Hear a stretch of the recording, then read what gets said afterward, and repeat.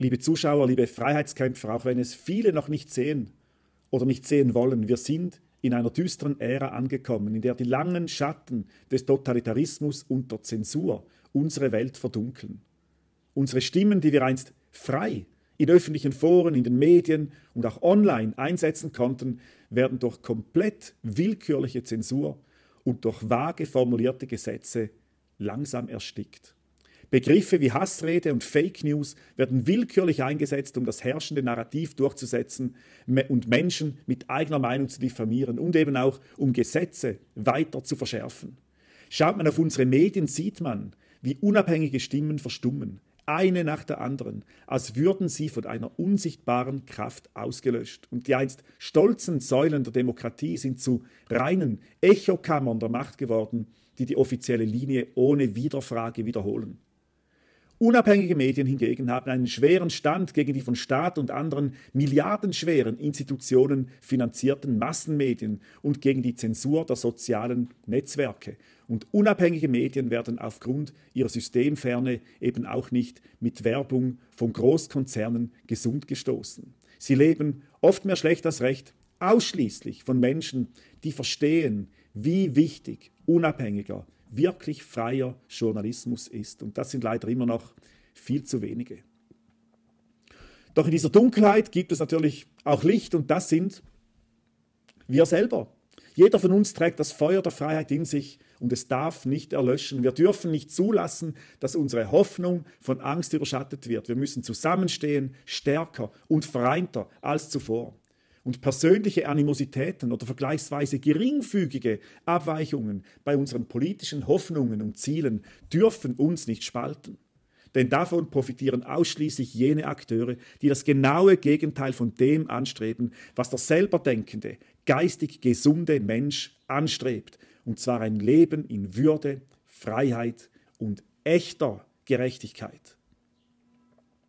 Wir sollten auch als Konsumenten immer zuerst freie Plattformen wie Telegram, Rumble oder X besuchen, bevor wir unsere Aufmerksamkeit jenen Plattformen zuwenden, die alles tun, um die Lügen ums Klima, Krieg und angeblicher Gesundheitspolitik zu verbreiten.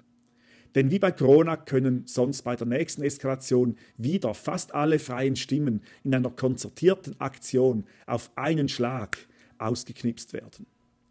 Es ist Zeit, mutig zu sein. Lasst uns erneut oder vielleicht auch zum ersten Mal laut unsere Ansichten äußern und unsere Geschichten erzählen und unsere Rechte einfordern. Lasst unser freies Denken und Reden zur Inspiration für alle anderen werden.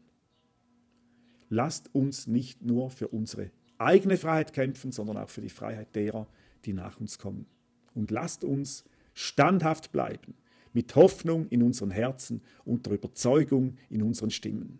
Lasst uns kämpfen, nicht mit Waffen, sondern mit dem unbeugsamen Geist der Menschlichkeit für die Freiheit, für die Wahrheit, für unser aller Zukunft.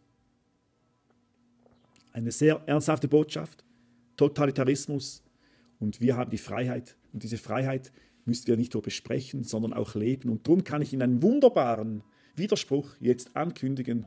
Das Strickerfest der Liebe, das Strickerfest 2024 wird, wieder, wird ausverkauft werden. Das ist sicher.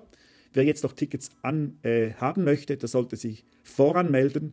Äh, und ich will dann niemanden jammern hören, der keine Tickets mehr kriegt, weil es gibt auch polizeiliche Vorschriften, die Sinn machen, und zwar die feuerpolizeilichen Vorschriften, und da sind wir nun mal begrenzt. Also Tickets sichern auf stricker.tv und dann leben wir. Wir können alle lachen, tanzen und zumindest wer es kann, kann dann auch singen. Wie auch immer, ich wünsche euch einen schönen Kampf und ein, ein schönes Tanzen für unsere Zukunft. Und zwar aufrecht, unbeugsam und ja, maßvoll kämpferisch.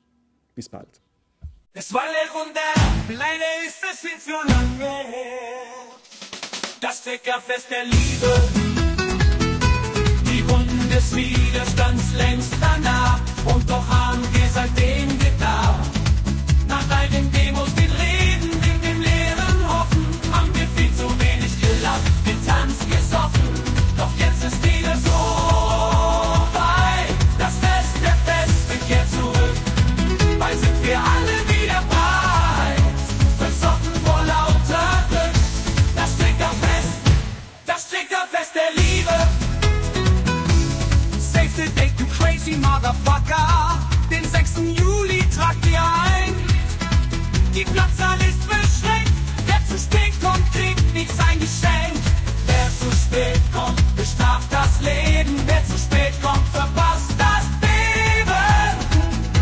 zu spät kommt, verpasst das Leben. Das zittert dann Schweden.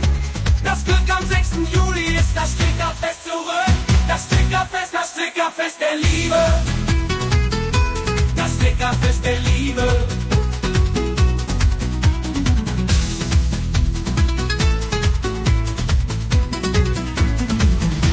Die Wunden des Widerstands längst vernarrt und doch haben wir seitdem